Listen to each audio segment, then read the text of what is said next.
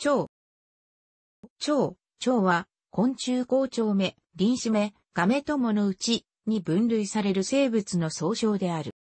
蝶目の21条化のうち、アゲハ蝶条化、セセリ蝶条化、尺がもどき条化の3条化が、いくつかの特徴を共有し、に分類される、すなわち蝶である。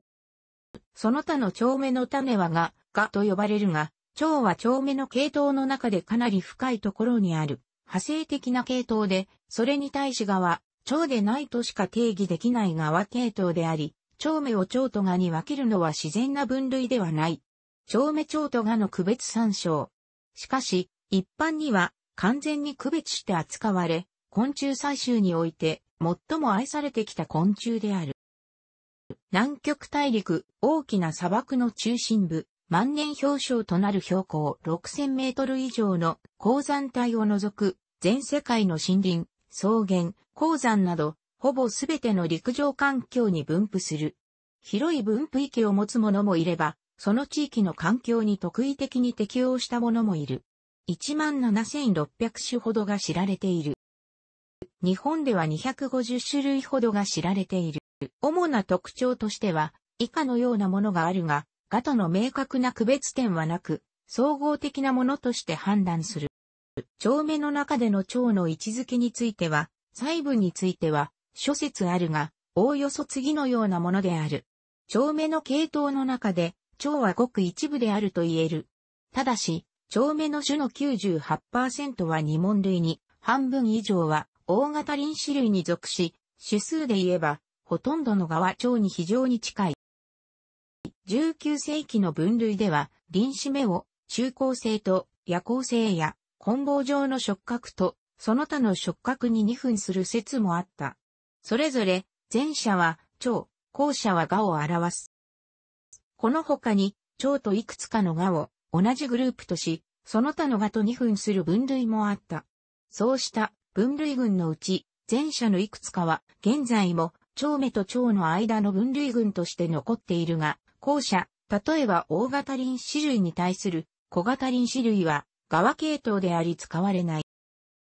三乗か七かが属す、かは説によりやや増減する。ただし、セセリ頂上化と尺がもどき上化は一乗化一化の一重型で、残りの5化は、アゲハ頂上化である。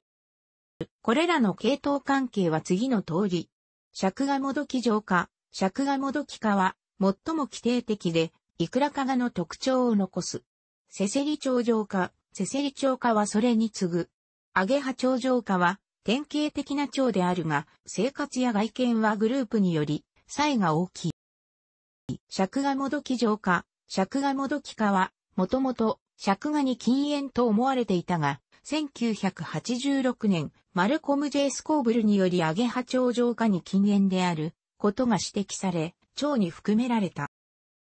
一化一族のみ、一化のみ、以下の蝶は長く、化として扱われていたが、近年では、縦波長化の赤として扱うことが多い。蝶は、美しくて無害な生き物との感覚があり、その他の虫一般と区別されかねないくらいの評価がある。画題や愛称としても蝶はよく使われる。花札の図柄に、ボタンに蝶がある。蝶は昆虫採集及びそのコレクションとして最も愛されてきた昆虫である。そのため蝶に関しては世界中度の地域においても詳しい情報があると言っても過言ではない。例えば日本に分布しないはずのもので台風などに運ばれて南方から運ばれて発見されるものを名鳥というが、それが広い分布域を持つものであっても、その反問などから起源となった地域が特定できる例がある。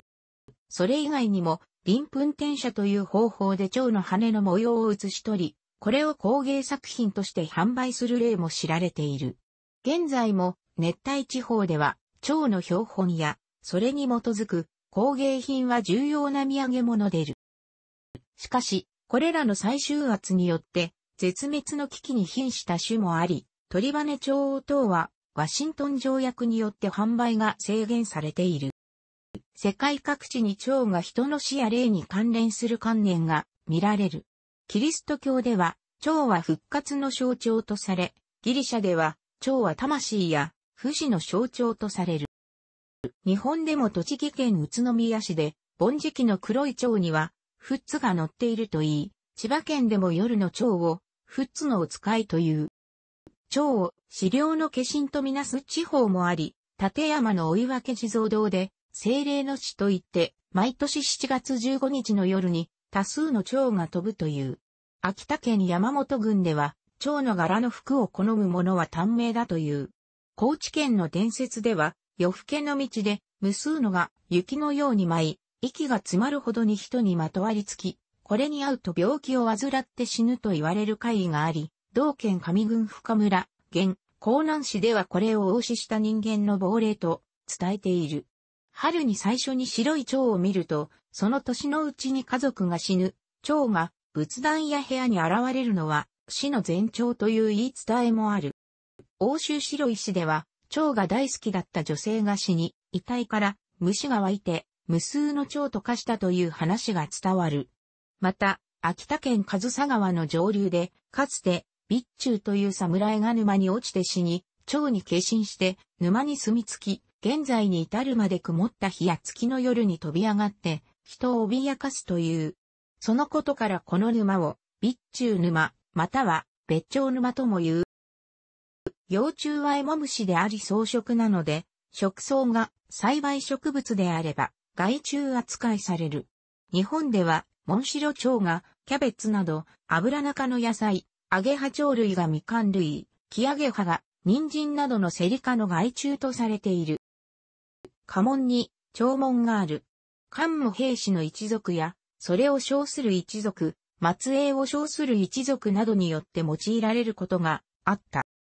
兵士を称した公家の他に、小田氏、関氏、谷氏などが用いている。長門を用いた大名で知られる池田氏のものは、小田氏から可視されたものである。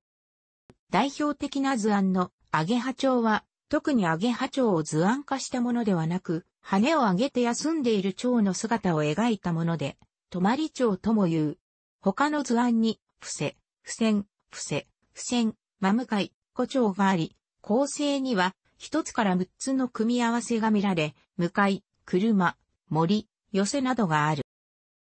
一般に、蝶の羽は細い体に比べて、著しく大きく、カラフルな色彩で人目につきやすいため、身近な昆虫として古くから親しまれている。研究者もプロアマチュアを問わず、数多く大阪府立大学や京都大学など研究機関も各地にある。日本鳥類学会などの学会がある。